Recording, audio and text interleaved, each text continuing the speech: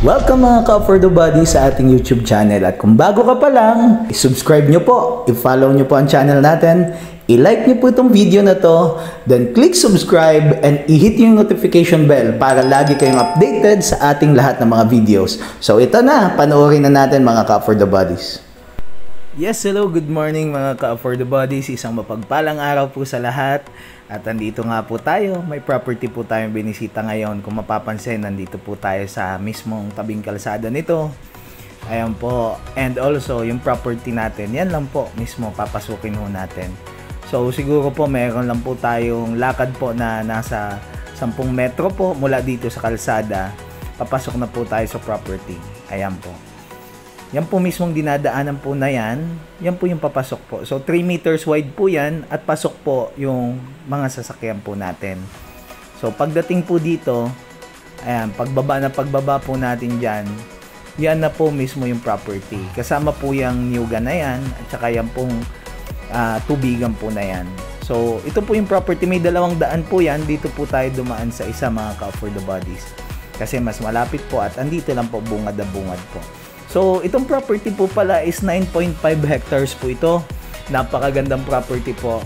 And also, at the same time, titled property po ito. So, ang maganda ho dito, dahil 9.5 nga po ito, pwede nyong ipangalan po sa buong pamilya, sa mag-asawa, kasama ang anak. Ano ho? Tapos, ang maganda ho dito, uh, almost 60% po niya puro Nyugan, kaya very productive. Ano ho? And also, 30% palayan.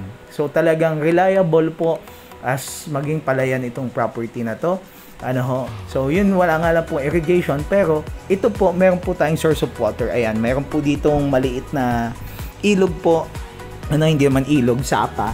Ano ho? And also po sa source of water po nito, ano ho, meron din pong creek uh, at saka spring para po sa ano, yung bukal po natin para sa inumin po, mga ka for the bodies.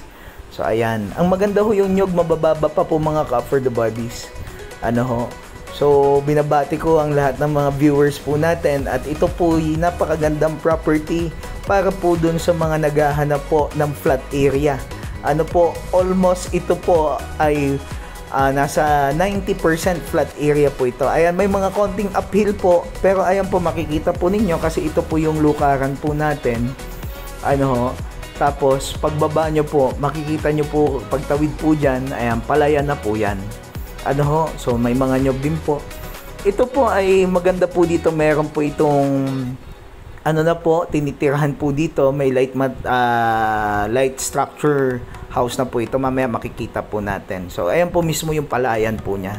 Tubigan po natin. Tapos, ang maganda, dun sa mga gusto maglagay ng poultry, sa mga gusto maglagay ng uh, mag-livestock farming, magkambing baka. Ayan, napakalawak po nung pwede pong gawing kambingan at bakahan po dito. Ayan, ito po yung grassland area niya, open area niya.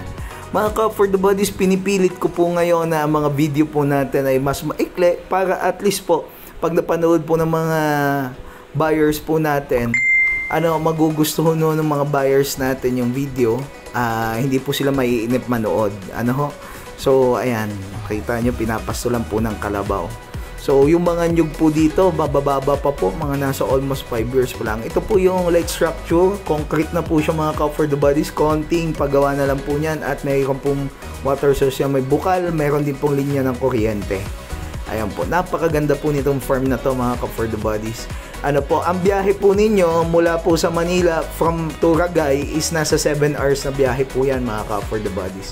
6 to 7 hours. Hindi na po ano yan, hindi na po yan naabot ng 7 hours. And pag nag-open po yung TR5 mga ka-farmland po natin, yan po ay nasa 3 hours na lang po yan. So malapit na po mag-open yung TR5 po natin. Ano ho? So ayan mga ka for the bodies, ito po yung isang property ho natin. Ano ho, hindi ho natin napalipadan ng drone. Ano ho, at ito po ay napakagandang property. So sa mga interested po, message nyo lang po ako mga ka-farmlat po natin. Ano ho, kung mag-ocular inspection, just message us. And also po, sa mga interested na kunin kaagad tong property na to, alam nyo po, napakalawak po ng plot area. May mga, ayan po, may mga fruit bearing, marami po tayong mga citrus, mga dalandan. Ayan, nandyan po sa area. Mga ka for the buddies, Ah, isa naman pong napakagandang property po at nagpapasalamat po kami sa inyo sa mga patuloy na sumusuporta po. Ah, maraming salamat po at hanggang dito na lamang po ang video po natin mga ka-farm po natin. Ayun po, abangan nyo po yung mga susunod properties natin. Ulitin ko po, titled property 9.5 hectares, ano po, dito po sa Ragay, Camarines Sur. So ayan, meron pong sariling kuryente, meron na pong concrete house, ano ho, light structure, and also higit sa lahat napakamura. So mga ka-for the bodies, tanging sa Diyos lang ang kapurihan at hanggang dito lamang po ang video natin. So papaalam muna po tayo. Bye bye for now. God bless po sa lahat.